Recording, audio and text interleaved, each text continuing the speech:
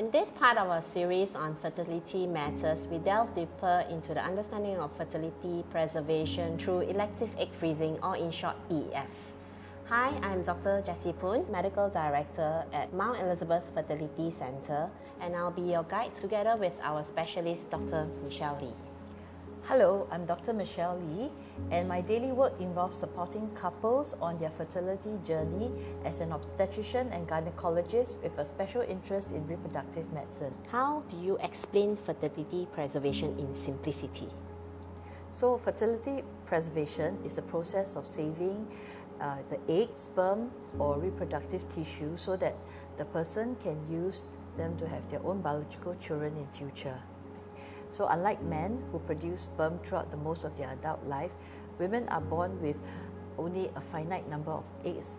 So they may have only enough eggs to bear children over a span of 20 to 25 years. So in response to that, how does EF achieve fertility preservation? So elective egg freezing uses advanced assisted reproductive techniques like those used in IVF. So to stimulate, mature and then collect the eggs. These mature eggs are then frozen in liquid nitrogen.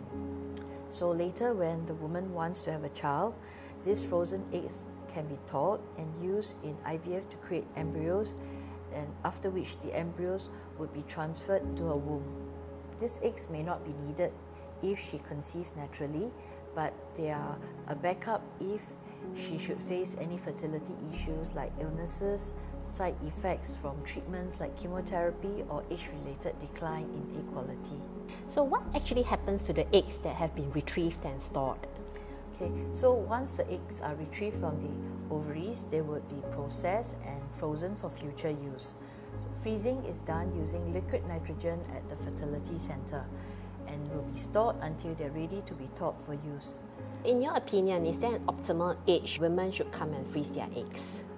The ideal time for a woman to freeze her egg is in her late 20s to early 30s when she has many high quality eggs and want to have the best possible chance of a success. Elective egg freezing may not be a 100% guarantee.